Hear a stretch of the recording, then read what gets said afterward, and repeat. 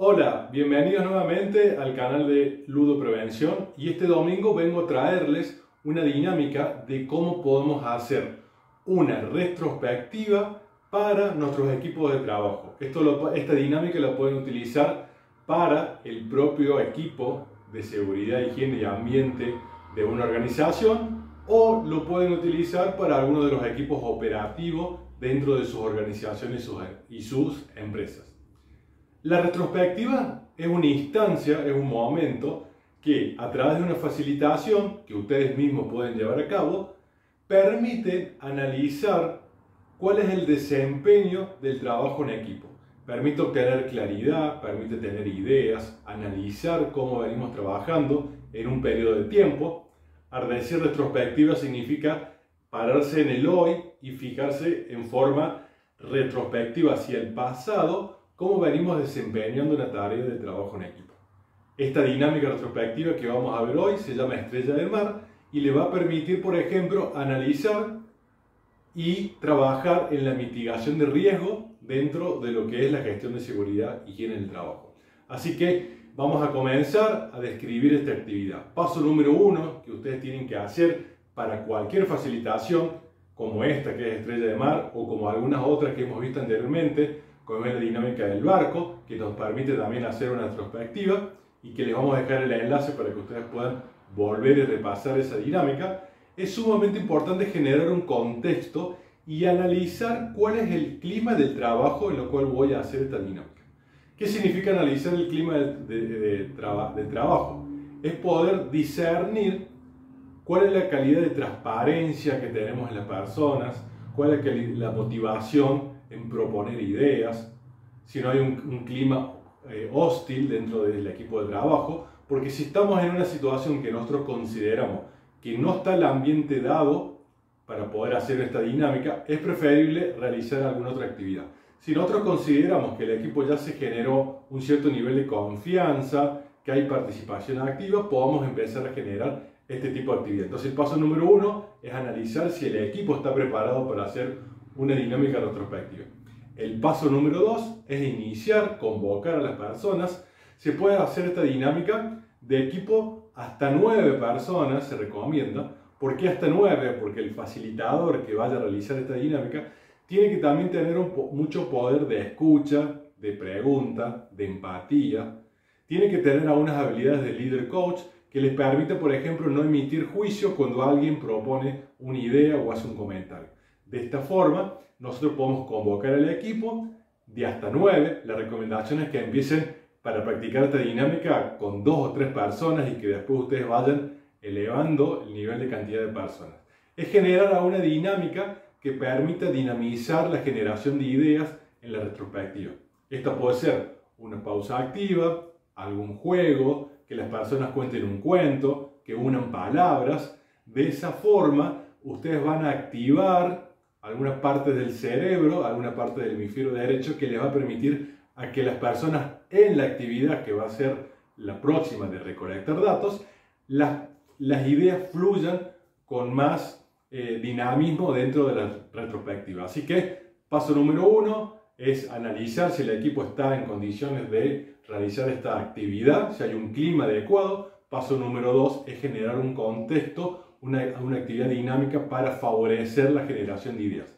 Y el paso número 3 es realizar la recolección de datos. En esta ocasión vamos a ver la estrella de mar, que es una de las retrospectivas que se pueden eh, realizar para empezar a obtener información, idea, qué es lo que cada uno de los equipos están sintiendo y de esa forma co-crear un principio de solución. ¿Cuál es el objetivo de esta dinámica? La mejora continua en el trabajo en equipo.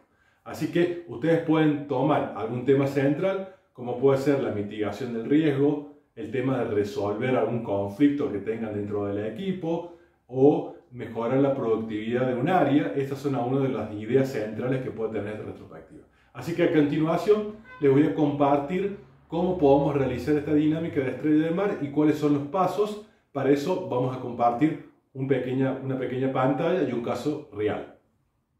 En esta oportunidad, la estrella de mar es la dinámica que podemos utilizar para empezar a trabajar con la idea de la mejora continua dentro de un equipo de trabajo. Y se asigna un determinado tiempo para que el equipo genere la mayor cantidad de ideas, de propuestas, para responder estas cinco preguntas. Se pueden cronometrar.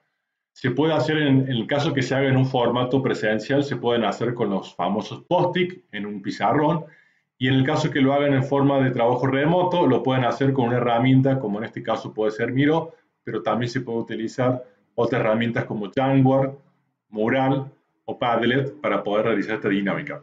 Se da un tiempo, se puede colocar una música y se le pide al equipo que coloque la mayor cantidad de respuestas para cada una de estas frases. Por ejemplo, si nosotros vamos con el foco de eh, mitigar los riesgos, podemos empezar a trabajar desde una de las porciones de la estrella de mar, que es hacer más. Que el equipo tire todas las ideas en una X cantidad de tiempo de que pueden empezar a hacer más. Por ejemplo, realizar una eh, mayor cantidad de pausas eh, de verificación de control durante una jornada de trabajo.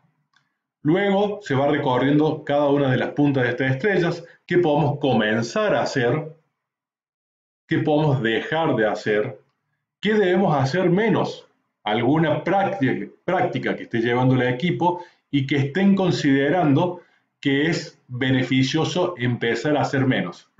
Por ejemplo, también en la parte de higiene y seguridad, a veces es muchas veces que es preferible realizar menos documentación para no generar una mayor burocracia dentro de lo que es un trabajo. ¿Y qué debemos seguir haciendo igual? Esta dinámica nos va a permitir eh, empezar a escuchar al equipo, a cuáles son sus ideas, cuáles son sus sentimientos, y va a ser sumamente importante para poder generar un posible eh, plan de acción a continuación. Así que esta es la dinámica de Estrella de Mar. Acá les voy a compartir un pequeño ejemplo, ¿no? de los cuales ya lo venimos realizando con equipos de seguridad y higiene. Por ejemplo, acá hay un caso de hacer más, organizar y establecer prioridades, comenzar a hacer, a difundir los procedimientos de SST entre los compañeros y estandarizar criterios, dejar de hacer la implementación de formato, hacer menos, sobrecargarme de trabajo cuando pueda delegar, y así sucesivamente todas las ideas. No hay ideas ni malas ni buenas. Ustedes lo que tienen que hacer como facilitadores es generar el contexto, propiciar la mayor cantidad de ideas y después dar un tiempo para leerlas, unificar ideas que sean complementarias, descartar ideas que estén duplicadas y sí lo que tienen que lograr es que una misma frase no se repita en los diferentes cuadrantes, en las diferentes partes de esta, eh, de esta estrella de mar, perdón, no de cuadrante. Así que de esta forma ustedes pueden empezar. Un tips que le doy es que cada comienzo de cada sticker tiene que empezar con un verbo, ¿no? porque esto es un análisis de cómo venimos accionando dentro del equipo de trabajo y qué podemos empezar a establecer como un modo de posible solución de mejora continua. Luego de, terminar este tiempo para la generación de ideas, hacer para darle una conclusión y que no quede en un momento, les aseguro que las personas les van a eh, agradecer un espacio de eh, comunicación como esto, como son las dinámicas, es empezar a generar algunos compromisos y algunas afirmaciones. Entonces pueden terminar los, la última etapa de esta dinámica pidiendo que cada uno responda a esta pregunta, ¿a qué me comprometo con el equipo? ¿Qué puedo empezar a realizar? Y también otra pregunta que se puede responder, ¿qué pedidos hago en el equipo y a quién?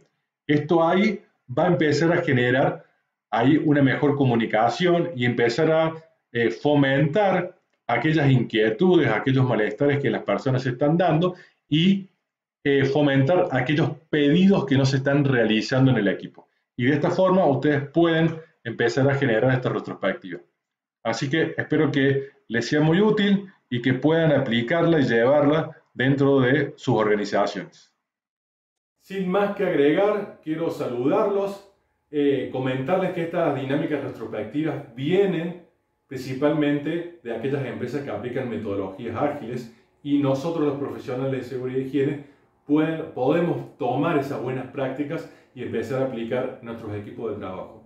Por cualquier duda, por cualquier inquietud, nosotros podemos apoyarlos, se pueden contactar con nosotros y podemos empezar a hacer un acompañamiento y mentoría para que lleven estas dinámicas a sus equipos de trabajo, que es algo totalmente diferente a dar una capacitación, sino es co-crear soluciones y generar espacios de conversación que puedan enriquecer el trabajo en equipo. Así que muchísimas gracias y que lo disfruten.